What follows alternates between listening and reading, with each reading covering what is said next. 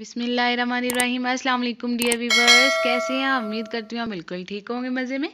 सदाबहार खाने में आपका वेलकम। और आज की जो रेसिपी है, बहुत ज़बरदस्त बनने वाली है, ढाबा स्टाइल मूंग दाल, जिसमें मैंने दो कप ऑयल लिया है और दो मीडियम साइज़ के प्याज मैंने स्लाइस किए थे और उसको फ्राई कर रही हूँ मैं ऑयल में। और इतना फ्राई करेंगे कि इसका कलर जो है, थोड़ा सा चेंज हो जाए, हल्का ब्राउन हो जाए, लाइट गोल्डन सा। उसके बाद अब हमने इसमें ऐड कर देनी है जिंजर गार्लिक पेस्ट और ग्रीन चिली जो है इन तीनों को मैंने इकट्ठा कूट लिया था। और इसकी पेस्ट ऐड करना चाहे तो पेस्ट ऐड कर दें और इसको फ्राई करेंगे एक से दो मिनट तक। इसके बाद हम इसमें ऐड करेंगे एक टमाटो और ये चॉप्ड किया हुआ ऐड करेंगे हम। अच्छी तरह से हमने इसको कर लेना है मिक्स। और इसके बाद हम इसमें फिर स्पाइसेस ऐड करेंगे। ये आपने ज़रूर ट्राई करनी है, बहुत ज़बरदस्त बनती है।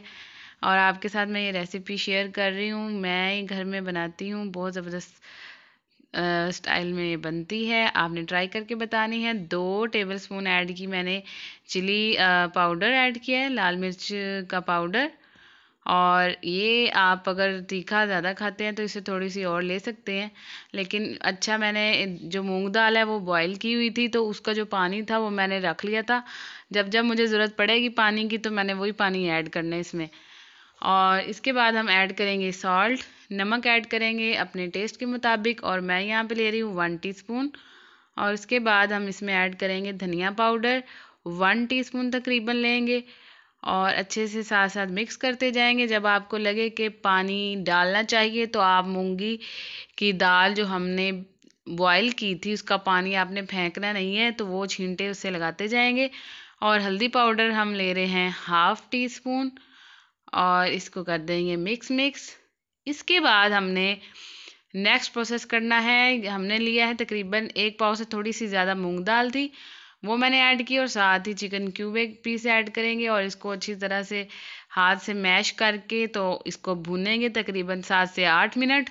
इतना फ्राई करेंगे कि इसका पानी भी ख़त्म हो जाए और थोड़ा सा पानी, अगर आपकी दाल में थोड़ी कसर हो तो आप पानी ऐड कर सकते हैं। मूंग दाल का बॉयल किया हुआ और उसको आप जब ऐड करके भुनेंगे तो इतना भुनेंगे कि इसका जो तेल है वो छोड़ दे। ऑयल ऑयल निकलना शुरू हो जाए तो इसका मतलब है हमारी दाल फ्राई हो चुकी है।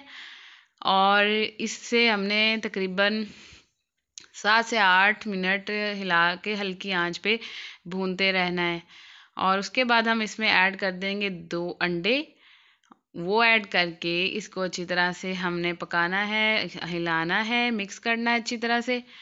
और आप जब ये बनाएँगे तो इसको आपने ज़्यादा तेज़ आँच में नहीं बनाना क्योंकि नीचे लग जाती है दाल फिर इस तरह से और अगर आपको लगे कि इसका पानी खुश्क हो गया है तो थोड़ा थोड़ा मूंग की दाल का पानी ऐड करके इसे पकाते जाइएगा। और हमारी ये ज़बरदस्ती जो रेसिपी है, वो तैयार हो जाएगी इन आपके साथ। बहुत सारी ज़बरदस्ती रेसिपीज़ शेयर करती रहूँगी। और जो मेरे चैनल पर नए हैं, वो मेरे चैनल को प्लीज़ सब्सक्राइब कर दें। और बेल आइकन को प्रेस करना मत भूलेगा उससे होगा कि नोटिफिकेशन आपको सबसे पहले मिलेगा। और हमारी तकरीबन दाल होगी है रेडी और हरा धनिया ऐड कर रही हूँ। एंड पे ये देखिए, अब ऑयल आ गया साइड पे। इसका मतलब हमारी दाल फ्राई हो चुकी है। और इसको बस हमने दो से तीन मिनट फ्राई करना है ताकि अंडे हमारे अच्छी तरह से पक जाए। और इसको मिक्स कर दिया और अब हम इसको करेंगे सर्व तो इसकी लुक ही आपको बताएगी कि कैसी बनी है। तो मुझे दे इजाज़त इस अपनेपन के साथ कि आप अपना बहुत सारा ख्याल रखिएगा। और मेरी वीडियो अगर आपको ये पसंद आई और रेसिपी पसंद आई तो लाइक, शेयर करना मत भूलिएगा। और जो मेरे चैनल पर नए हैं, वो मेरे चैनल को सब्सक्राइब कर लें। Thanks for watching.